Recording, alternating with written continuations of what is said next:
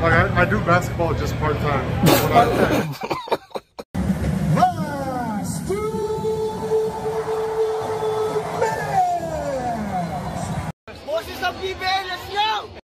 Hey, with me is a very tall, very goofy, says Devon Scott. Devon Scott. Oh, So Davion? said- Yeah, he said you're the goofiest teammate.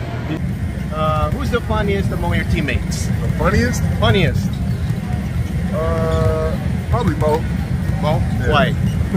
He's goofy, bro. He's like a uh, he's like a giant kid. I agree, I agree. He has a beard, but he's like he's really, he's really like six years old.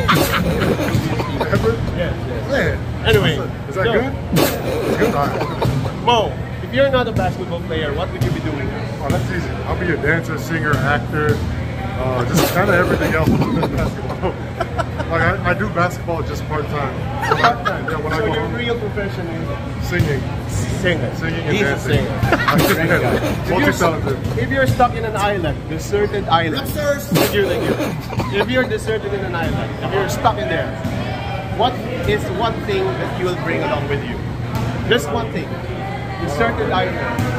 Uh, No cell phone signal. is there food? Yep. Or do I gotta bring food? Yeah, yeah. Or I gotta come to work? What You do I gotta bring? have- What would you What would you bring? Man, I don't know.